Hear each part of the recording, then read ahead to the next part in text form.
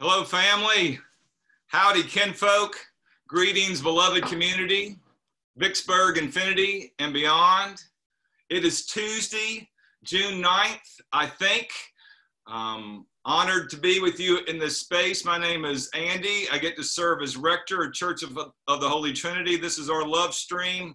Have a special guest, Lee Davis Thames. We're going to talk in a bit. I just want to go over a few things, especially with the beloved of Holy Trinity.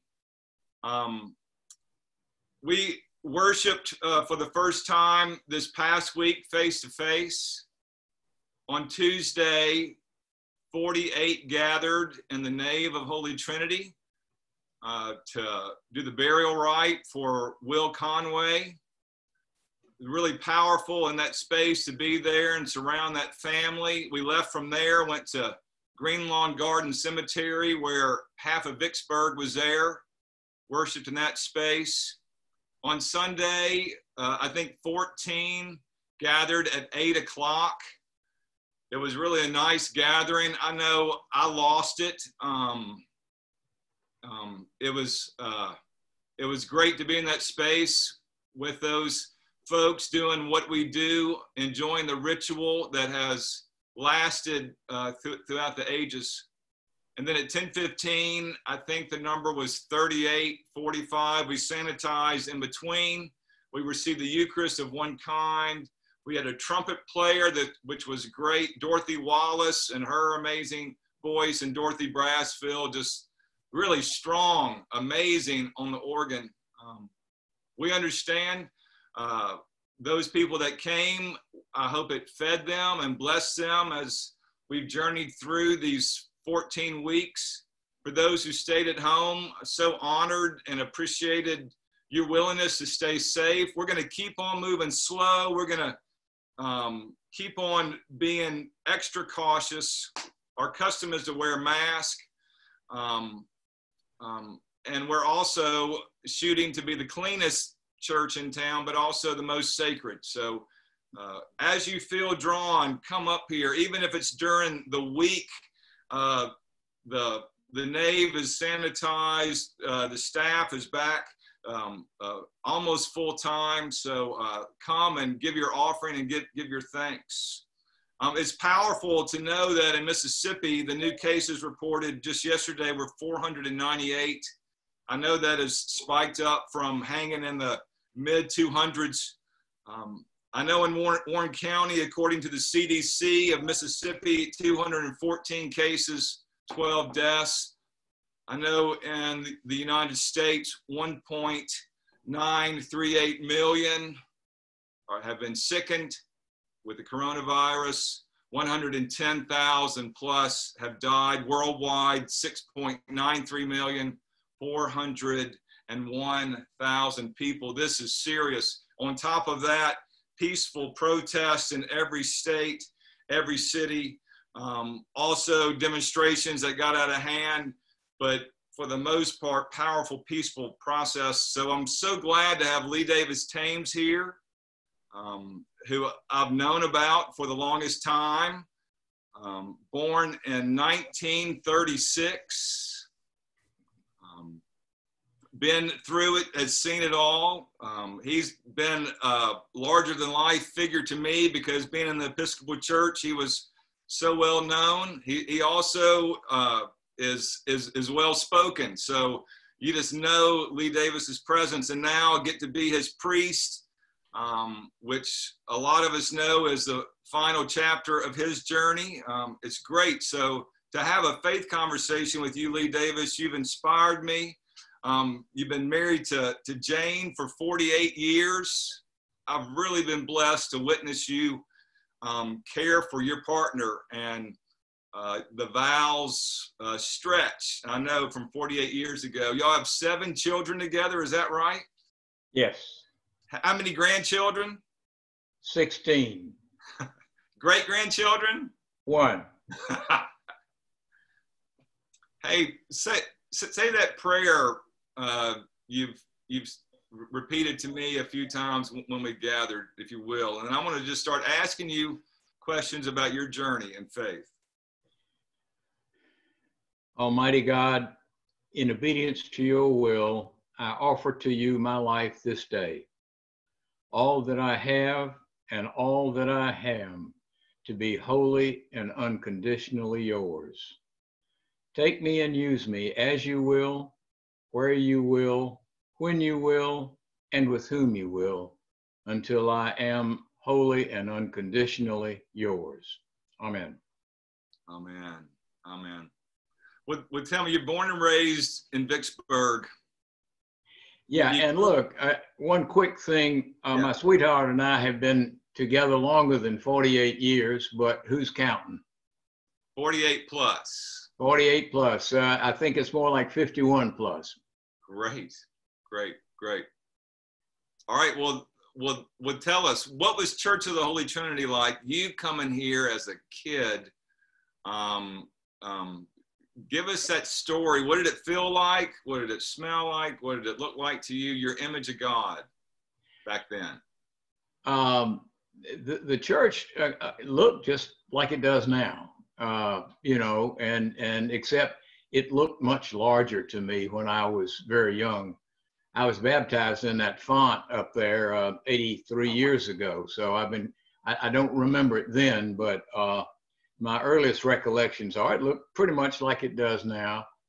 Um, the, uh, the congregation, uh, it, growing up and looking at it as a child, um, it was a reserved congregation. We, it was a quiet place. Uh, the, it, to the extent that there was energy, it was mostly, I guess, inside the grown-ups. Uh, quiet, dignified, holy, uh, and, uh, and, and, and sustaining, but uh, not the kind of energy that we have now. And of course, prayer book didn't have the passing of the peace or anything. So, but that's the way it was, and it, and it was good. It was good, and you know, I grew up. Uh, Jane and I say we we grew up in the best of times. I, I guess I would modify that to say that if we, since we were white, we grew up in the best of times, but we are, and so we did. Uh, uh, Holy Trinity, as I grew up into my my uh, high school times, you know, we had a had a good in those days. It was YPSL, Young People's Service League, Right. and we uh, some of my friends uh, and, and their or their siblings are members of the congregation even today, and and and that's fun. who, Uh, was, who was the priest back then, Lee Davis? Who, who was Uh, the rector? Bob Allen uh, uh, was the well when I was when I was first around uh, and too young to know it was uh, Camille Esternell, but that's a story for another day.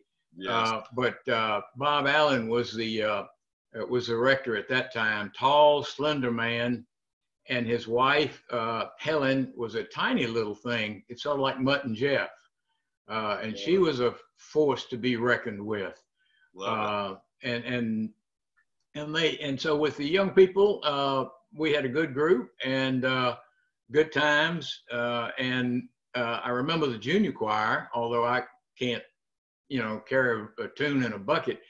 But the junior choir was active, uh, and during Lent we had evensong uh, a couple of nights a week, and we came from church, I mean from school, and sang. And uh, so it was a it was a good program from that standpoint. Uh, some division of youth, Grace Center. It, it, wasn't Grace Center; it was Baton Green. Wow. So Hey, uh, your, your image of God. Did you have any experiences of God early on? Um, did you I- did you ever question what uh, religion? Did you go through a, a dark night, teenage years? uh, God uh, was always hanging around.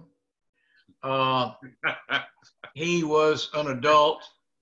Uh, uh, the guy that I spent more time with was Jesus, and uh, and and that was through the scriptures, uh, the, the, the New Testament, and um, so it was a learning time. You and and it it was uh, you know it it was exciting sometimes. Certainly serving as an acolyte on Easter, one of the great services and one of my great uh, mountaintop experiences every Easter. You know, Yeah, man. But uh, my recollection really is is Jesus, uh, my buddy.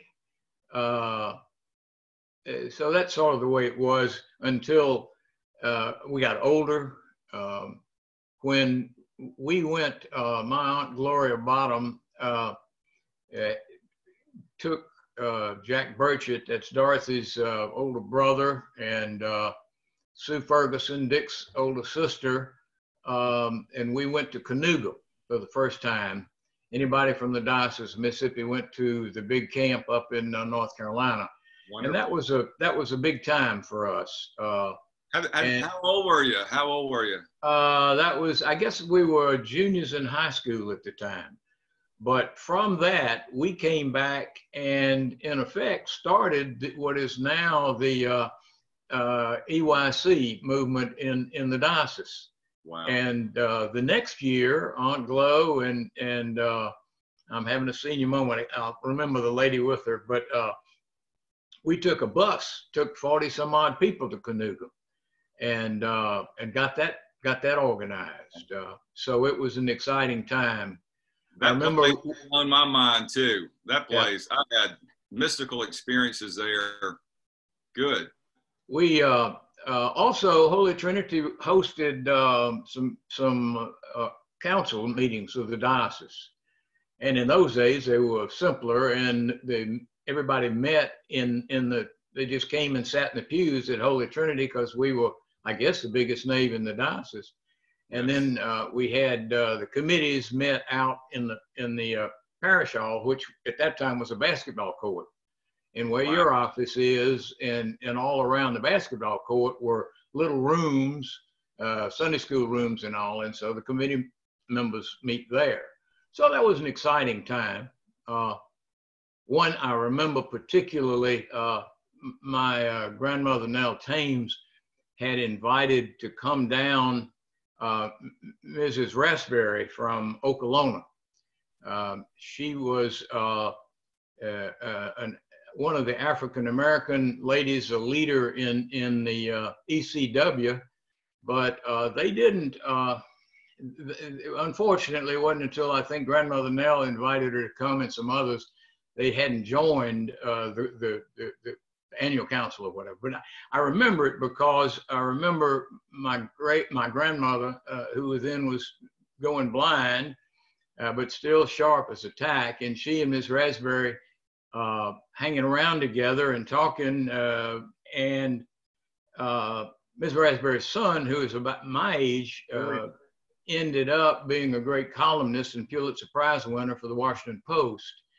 And I, I also remember Andy, uh, a very prominent member of Holy Trinity, lady, uh, Caucasian, came up to my grandmother knowing she was losing her sight. And when Miss Raspberry moved on to meet with someone else, she said, Mrs. Thames, do you know that Mrs. Raspberry is colored?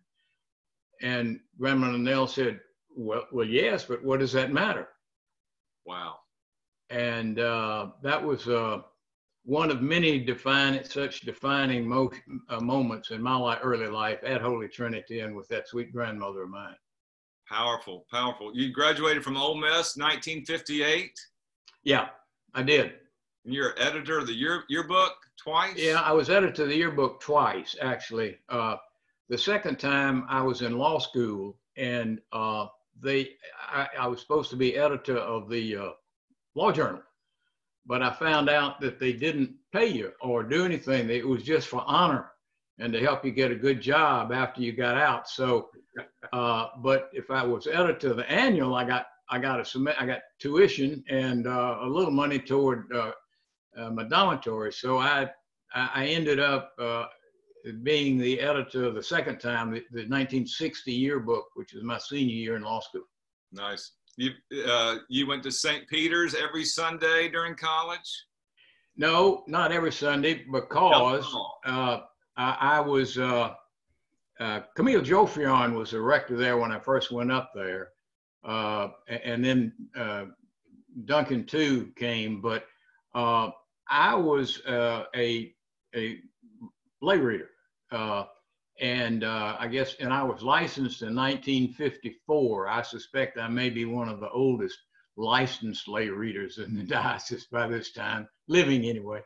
But uh, so on uh, two Sundays a month, um, I would borrow a car uh, or hitchhike down to Water Valley and conducted the morning prayer service okay. at the church in Water Valley.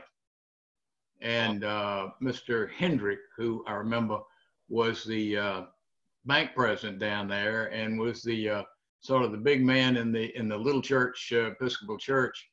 And he took me home for Sunday dinner uh, every Sunday. That was one of one of the inducements for, uh, for looking forward to it. So I, I did I was a lay reader then for much of the time, and so I did that as well as at, at St. Peter's. Fantastic. And and then you went to law school right after that, right? Right after you graduated. Yeah, I I, I graduated in in '58 uh, and uh, commissioned in the Army infantry. Uh, but things were quieter in those days, so I had an 11 month delay in call to active duty. So I had, and I'd worked my way through school, and uh, I had planned to work during those 11 months, but I majored in Greek and the demand for Greek majors in the Delta was not overwhelming and I couldn't get a job. Yep. So I just walked across the Grove the day after I got uh, my degree and uh, signed up for law school because uh, the uh, English, I was, they didn't have the courses I needed to finish my uh, master's in English. So I started law school and liked it and stayed in and then went on active duty after that what was church like in active duty? What was your relationship to God then? How, how did it start to evolve, change? You remember that? Yeah, I, I do remember some. Uh, I, I, I would say that it was different, but then everything in my life in the infantry was different from uh, from my life. Uh, but uh, and I remember interacting with chaplains. Um, and and not all Episcopalian, as a matter of fact. Right. Uh, which was an interesting thing. Uh, it uh, it sort of helped me realize how how much the Episcopal Church and its Book of Common Prayer meant to me. Yes. But it was a good experience, and uh, uh, you know, it, at some points they they thought this little uh, lieutenant wet behind the ears could counsel his 45 uh, year old sergeants uh, uh, that were in his platoon and and so I, I leaned heavily on the on the chaplains to help in that.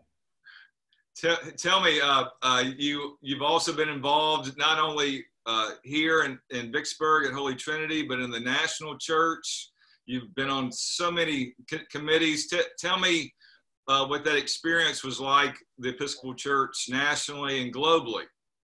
Um, well, uh, it, it, was it was for me breathtaking, uh, and again reaffirmed uh, the specialness of the Episcopal Church, really. Um, and uh, I, I sort of started out uh, at some point being active at, at annual council and and a lot of folks in the congregation have done that for the, for the diocese. And then uh, I, uh, as, as, if when when Bishop uh, uh, Allin became the presiding bishop, I was he he appointed me to a to the Standing Committee on Peace. Wow. I was by that time a uh, I guess a full colonel in the army, and uh, I, I think he thought he would send in a ringer on that peace commission. And that was a very interesting experience because uh, uh, the, the people in the Episcopal Peace Fellowship who, who became my, some of my dearest friends uh, didn't expect to find uh, an officer in the United States Army, uh, infantry, whatever, uh, care about peace or whatever.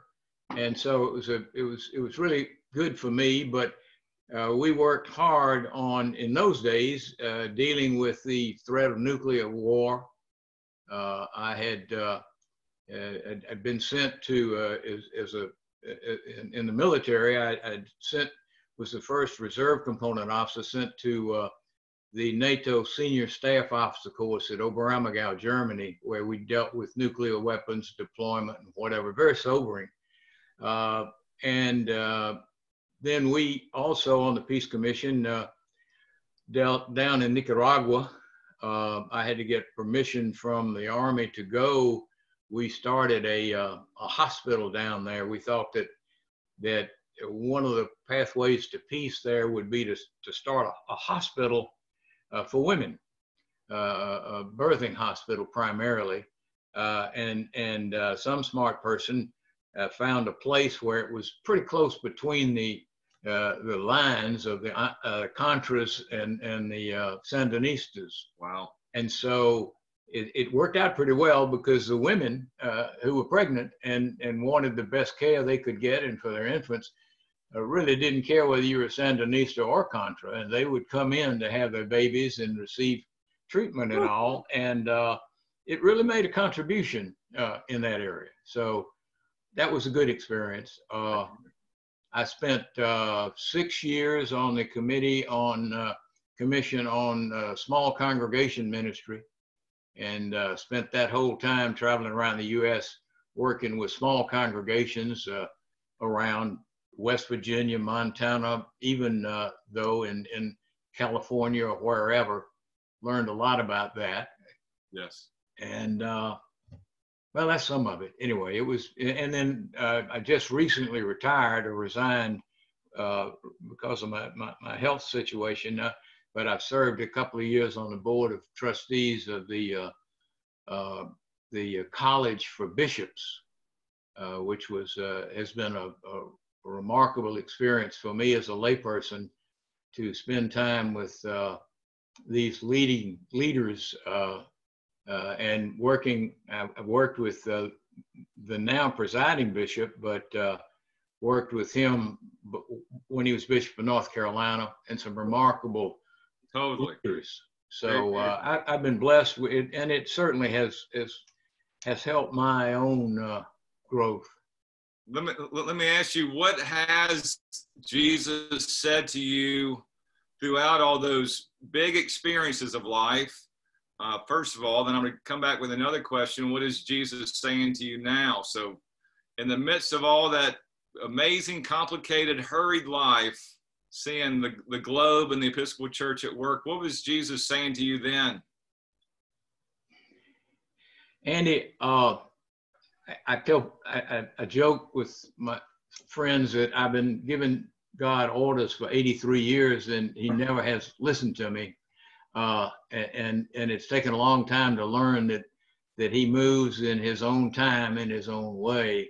So I'm not sure uh, what all Jesus said that I hadn't hear didn't hear. Mm-hmm. Right. But but my I guess my experience over the the region and, and let me just interrupt. I, I remember because another one of the really formative times for me, uh, I spent on the Peace Commission uh, in uh, in uh, Jerusalem uh, and in Israel and and uh, with the Palestinian Christians and the Jabalia, Jabalia refugee uh, during the Jabalia refugee re- revolution. Anyway, and through all of that, I, I've always been aware of the love that is at the heart of who we are and what this church is about. Uh, initially and for a long time more intellectually than any other way, frankly. Right. Right. Uh, but even then, in some of this, I could see it. Uh, looking back, I probably didn't. No, not probably. I just didn't didn't feel it or understand it or or you know. And so, yeah. for me in my journey, I think the growth of the awareness of the centrality of love for everybody, not just Episcopalians or, you know, um, and and uh, being loved also have been pretty hard for me. I, have I've begun to learn that even better since my cancer diagnosis, frankly. I've, it's been but, so powerful uh, to journey with you when you found out about this diagnosis, and then to see so many people from this amazing congregation take you um, to Jackson for treatments. I, it was I've seen uh, a lot of holy living. I've also been around people uh, where death was holy. I think gathering with friends and telling stories and the way you've been honest and transparent about it, um, you know, uh, it's it's been an inspiration for, for me, a trust, a faith. What is what is Jesus saying to you now? What kind, or is it a comfort? Um, um, oh yeah. Uh, Tell me. I, what, I just, I, uh, I, I don't think that uh, Jesus is saying anything to me now that he hadn't been saying for 83 years. It's just that I hear it better.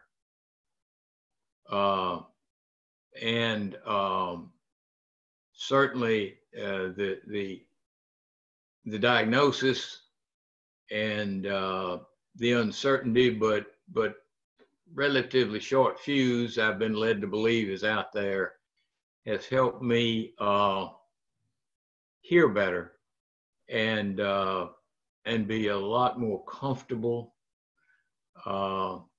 uh, about where I am and and the beautiful place where I'm headed. Uh, it's just it, it, has been sort of the culmination of that of that stream of, of, of awareness and growth that started, you know, back at Holy Trinity when I was when Jack Burchett and I were acolytes, or used to have a, a bet when we were crucifers as to who could carry the cross and get the, the processional cross closer to the cross that hangs from the from the right above when you go up the chancel steps. Who could get the procession cross closer to it without hitting it? And uh, uh, that was one of the great joys that uh, I had with Jack uh, for, for a number of years. But from those days all the way up to now, it's uh, it's been a a, a, pro- a progress. Uh, one thing about it, Jesus certainly has a lot of patience and if he didn't have patience and a sense of humor, I, am afraid I would have been boated off the island a long time ago. You're loved, man. You're loved. What, uh, just as we begin to wrap up, what's what's the message to your children? Um, you know, uh, and then I'm gonna ask you what's the message to your grandchildren. Well, I guess I start by saying it doesn't matter. They haven't listened to me anyway, so I, I no, no reason to give one. but but but uh, uh, just you know, my message to everybody uh, is uh, is seek Jesus. Listen, listen carefully because He's talking and and love, love each other as as this I'm blessed with, you know, I'm an only child, but with all these children and grandchildren and one great granddaughter, it's it's a, a blessing to to for them to listen and love, uh, and uh, and particularly in these times uh, with all that's going on, and and from I guess I've been more since the '60s forward. I've, I've been a lot more uh, aware of the need for that patience and that uh, unconditional love as, as much as we as human beings can can do it. But the, the joy is that I'm also learning how great that love really is because I know uh, I got it uh, yes. from, from God. And all of us do, not just me. Tell me, are these times now more um, chaotic and uncertain than 1968? What's your what, what's your thought? What's your crystal ball say? Well, I I don't uh, have any kind of uh, crystal ball. Uh, there's a difference that I feel. I'll put it that way. Uh, uh, in 1962, when uh, I guess it was 62, 63, I guess, when I marched in at DC and, and, and was privileged to hear Dr. King that was certainly a, an awesome time. And ironically, I know you we're trying to shut down, but I will tell you that that at that same uh, time, at that same march, there was a lady there uh, that uh, by the name of Anita Parrott George.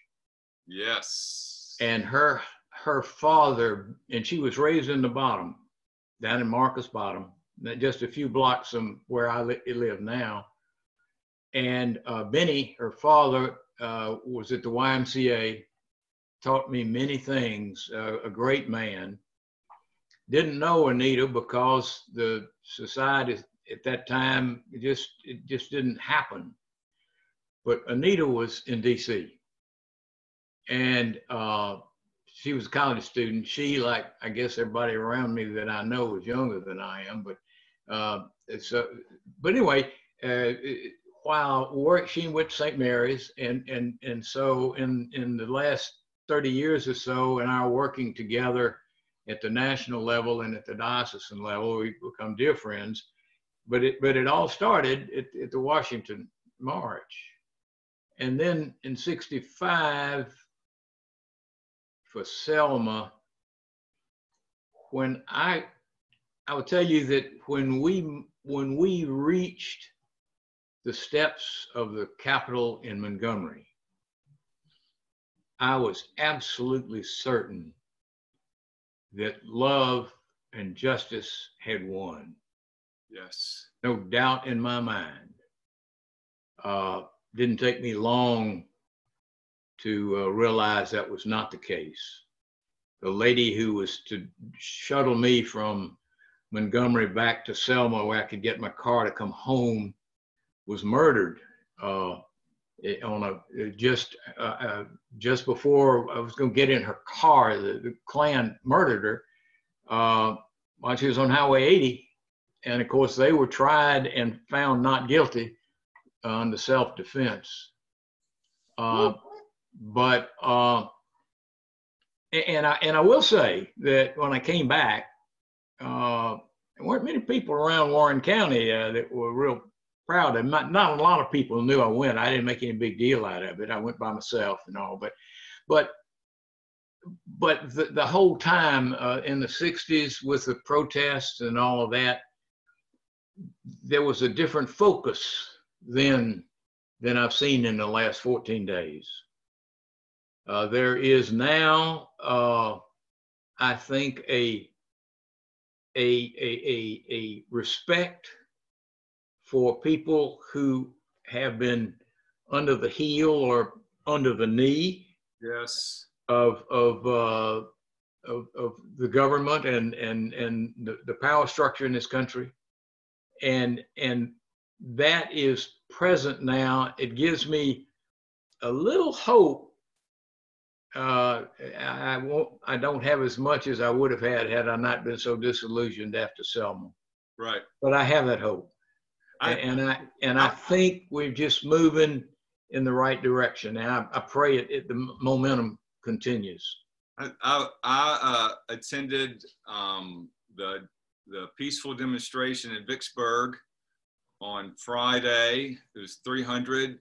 I felt like Jesus was in the midst of us. It was like church.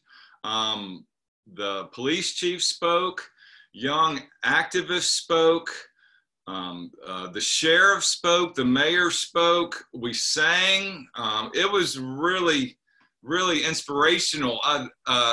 Because uh, just watching everything on the news, and then I see the community that I get to live in.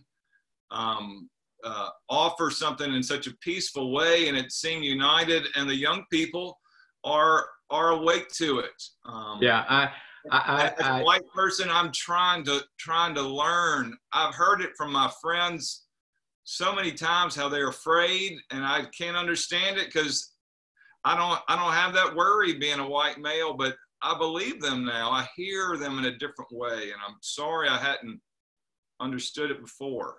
Well, it, it takes that. I, I must confess that some of my experiences in the 60s taught me that fear right right rather early and, right. and i do and and it broke my heart that i couldn't participate in that uh, friday deal but my uh, oncologist said uh, I, I couldn't for because of the uh, uh, the covid-19 deal yes. Uh, yes but it was important and that's what i'm talking about that's what that's what we need and and that's what the episcopal church has been telling us uh, specifically since the 60s. I know. I, I love how our faith tells us that we're all made in the image of God and we're all broken, but we're beloved, and that the Holy Spirit uh, is moving us forward, and that God's future with us is bright, that God loves creation. I get so uh, trapped when people say it's all coming to an end, um, the apocalypse, and it's just like, oh no, that's just another birth because God will never give up on what God loves, which is which is all of us. And, and brother, I love you. I'm honored to be your friend. I'm so I'm so grateful. I'm so grateful for this time. I pray that the words uh, you shared today fly a thousand miles. Um, I pray that if someone is in a spot where they're worried, they can see how your continual process of choosing light um, and now choosing the great light, that the reward keeps on going, that life is eternal. So let me read this prayer, and I'm going to read also from uh, from the Holy Trinity prayer list. Thank you, Lee Davis. Thank you. This is from the prayer book, page 833, Collect 63. O Lord, support us all the day long until the shadows lengthen, the evening comes, and the busy world is hushed, and the fever of life is over, and our work is done. Then in thy mercy, grant us a safe lodging, a holy rest, and peace at last. We pray for all those on our prayer list for, for Jean and for Pat and for Elizabeth, for Rochelle, for Max and Tana and Kitty, for Patricia, for Pete, for Ian, for Lynn, for Don, for Susan, for Betty, for Megan, for Cora Lee, for Glenn and Melissa, and Alex and Brady and Matthew and Bob and Tenu and Andy and Susan and Emmy Lou. We pray for Philip and Debbie and Christy, Alicia, for Kathy, for Steve, for the Sante family, for Charles, for Lucas. We pray for you, Jane, Lee Davis. Honored to pray for you. Pray for Daryl, for Dee Dee, for Lamar, for Lee and Billy, and Ginger and Ken Halford Sr., for Jack and Ruth, for Sarah Jane, for Tom, for JR and Sheldon, Glenn, Ashton, Greg, and Evelyn. Pray for Taylor. Pray for Tracy. Pray for Ashley, for Darlene, for Daria, for Alan, for Will, for Matthew Weaver. In Vicksburg, there are no strangers anymore. Thank you for all the first responders. Thank you for all of you who are choosing light. Thank you for all who are being selfless the firefighters, the sheriffs, the deputies, the police, all those who are expressing their voice in a peaceful way.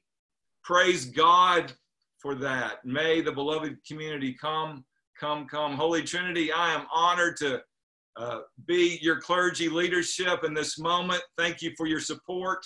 Thanks for everyone who hears this for supporting Holy Trinity in the way you do. God is with us. Uh, Lee Davis, love you, brother. Peace. Peace. Friend. Love you and peace, Andy. You're an awesome person. Amen. Paperback Productions.